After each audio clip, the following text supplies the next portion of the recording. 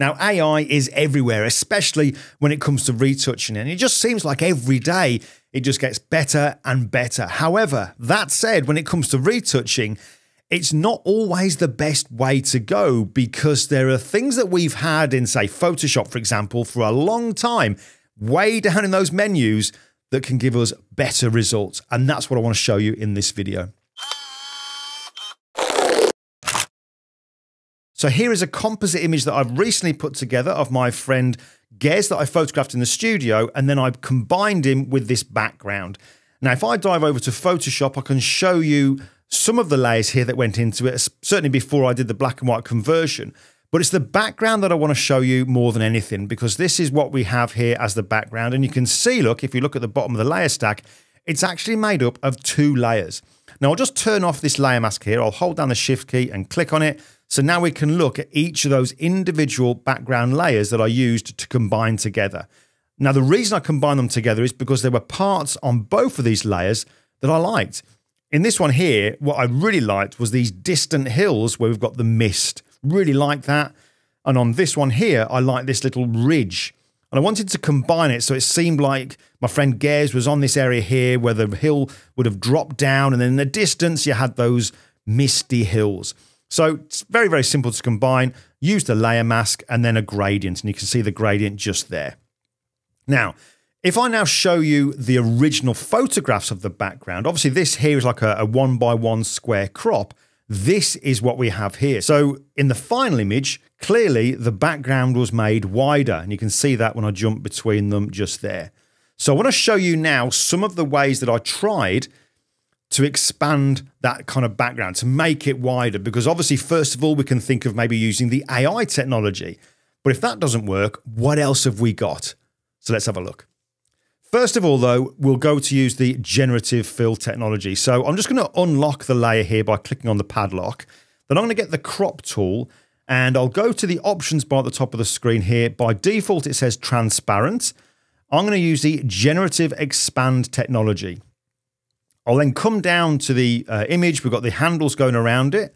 I'll hold down the Option key on Mac, Alt key on Windows, and I'll click on the left-hand marker here just to drag out a bit more canvas area on the left and right-hand sides. So just go for something like that for now, let's say. And then I'll just press the little tick icon in the options bar. I won't put any text prompts in here. I'll just click on Generate. And just like we're kind of used to these days now, the Adobe technology will get to work and it will look at the image to see, right, what do I need to generate to fill in the left and right hand sides here so it looks realistic. Takes roughly 10 to 12 seconds, and as always, we'll get three variations. But let's have a look at what we get.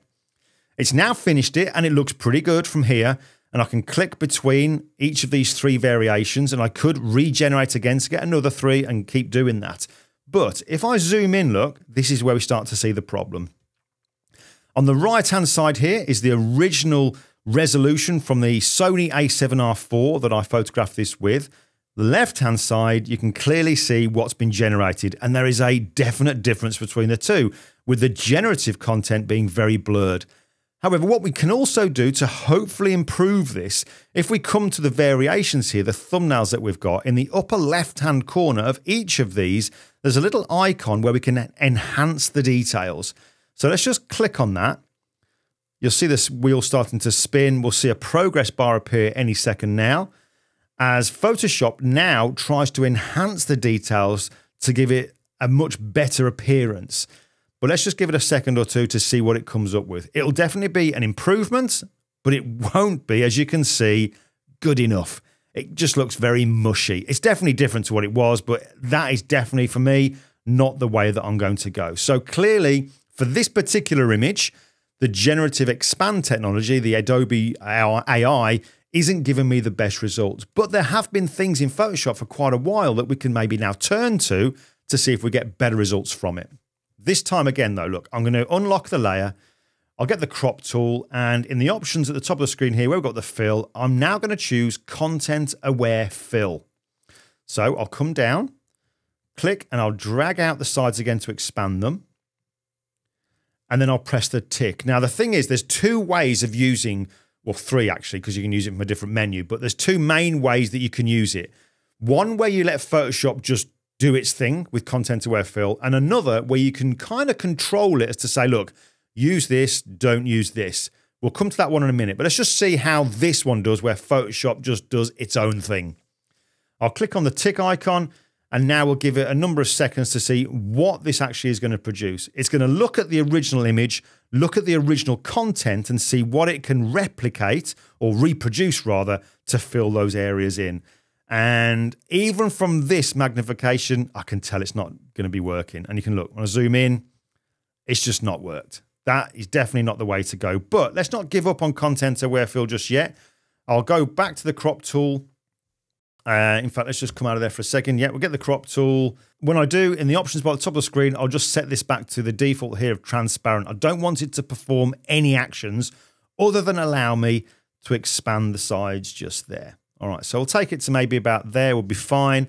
Press enter or return. You can see nothing's happened. We've got these transparent areas on the left and right. So what I'll do now is I'm going to get my marquee tool and I'm going to drag out a selection of the left-hand side. Hold down the shift key and I'll click and drag out a selection on the right-hand side. So both of those areas are selected. And this time I'll go to the edit menu and choose content aware fill. Now, when we do this, we get two views. You've got the left-hand side and the right-hand side. The left-hand side, you've got this green overlay on, which is where the green overlay is basically allowing Photoshop to use all of that content there to fill in those certain areas. But you might find you can see, look, on the left here, on the right, it's just not looking so good. So you might want to say, look, don't use don't use this bit, let's say, because that's not looking good. And it'll then reproduce it and you'll get a different result. And you say, well, don't use this bit and what have you.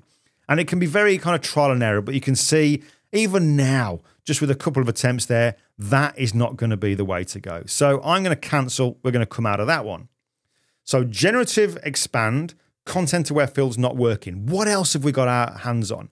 Well, in Photoshop, we've got content aware scale, and that's been in Photoshop for quite a while. And in fact, that's what I did use for this particular composite. And let me show you how we use that.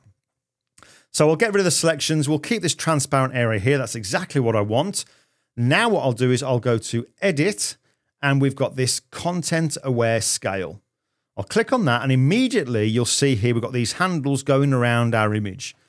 In the options bar at the top of the screen, I'm going to leave that as it is for now. And all I'll do is hold down the option key again, or uh, option key on Mac, alt key on Windows, and I'll click and drag. And look, as I go to the left, you can see now, look, it's starting to replicate or, or sort of reproduce on the fly content.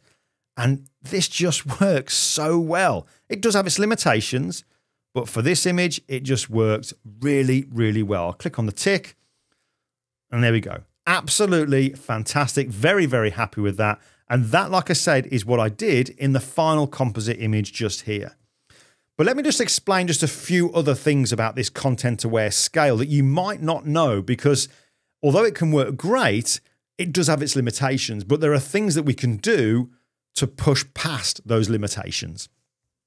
Now, what I mean by that is this here. I'll go to, say, this image first of all. Let's just say that this image here I want to make into a much wider shot. I'm definitely not going to use generative expand. Content aware fill, I'm not going to use. We're going to stick with content aware scale. So first of all, look, I'll unlock the layer by clicking on the padlock. I'll get the crop tool, making sure in the options by the top of the screen, it's just set to transparent. And let's just say that I want it to be this much wider. I mean, we're talking serious, serious growth here with this uh, particular image. I'll press enter, we get the transparent pixels. Now look, I'll go to the edit menu and choose content aware scale. Now, what's great about this is to a point, content aware scale recognizes that you have a subject of some description within your picture. And to a point, as you're expanding it, it will try to protect it from kind of being distorted. So let's have a look. I've, I've applied the content aware scale. I'll hold down the option key and I'm going to drag out to the left. And look, as I drag that out, it's replicating and duplicating the background. But look at the fishermen. they're being left pretty much well alone. In fact, they are being left well alone. Now, they are a relatively small part of this image, which is why this is obviously making it a lot easier. But you've got to admit, that is a pretty damn good result. That looks really, really good. I'm very, very happy with that. These here have been left well and truly alone. But what happens when you use an image where the content here, the subject, is much more obvious in the picture? What can we do then? Well, let's have a look first of all. I'll get the crop tool. Again, check here that it says transparent in the options bar. And let's just say that I want to make this picture much bigger. So we'll go to somewhere like, say, there. So we're asking quite a lot here because Photoshop has now got to reproduce the background when a lot of the background is covered by the subject. But let's give it a go anyway. We'll go to Edit, Content Aware Scale, zoom out so we can get a good view. And I'm going to drag out on this left handle. And you can see, look, the background is being repeated, it's being duplicated, and what have you. Really, really effective. And to a point, at the moment, the actual surfer is being unaffected. But surely at some point, it's going to have to start distorting him. In fact, oh, there you go. Can you see his chest? Look, see now, look, he's starting to expand. And if I go further, you can see there, look, starting to distort as well. So it does have its limitations, but there are things that we can do now to protect it. Because you'll notice, look, in the top of the screen here, if I just go to the edit and content aware scale, there is an option here where it says protect. And at the moment, it doesn't say anything. So here's what I'm going to do. We'll come out of that for a second. I'm going to get my uh, lasso tool. Let's just zoom in. And it's just got a normal lasso tool. I don't want the selection brush tool. Normal lasso tool. And I'm just going to draw around quite tight on the subject just here. So I'll go all the way around him like so. Things that I don't want to be uh, changed as we expand it, I need to just get as tight as I can using the lasso tool. And the reason for that is so that I allow as much of that background to be used. So we'll go for something like that. Then what I'll do is I'm going to go to the channels, and here we've got the RGB, red, green, and blue. I'm going to create another channel now of this selection. And to do that, all I'm going to do is come down here to the layer, the channel mask, and I'm going to click on that, and you can see here it says Alpha 1. Now, at the moment, if I click on that, you can see that the actual area, including the surfer, is black and the background is white. I need it to be the opposite way around so that we're protecting the actual surfer. So all I will do, let's just get rid of that uh, active selection there. And I'm just going to press the, I'm just going to press down the Command key on Mac or Control key on Windows and press I to invert that mask. Right, now what I'll do is I'll go back to the RGB so we see the full color composite and then I'll go back to the layers panel. All right. Now that I've done that, I'll go to the edit menu and let's try content aware scale.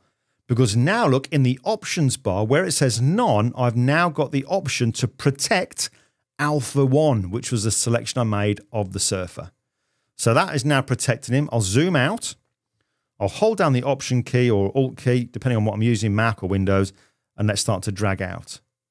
So now look, drag out, keep going, keep going, keep going, keep going, keep going. Now, at this point here is where we started to see the surfer getting a little bit distorted, but look, I can keep on going.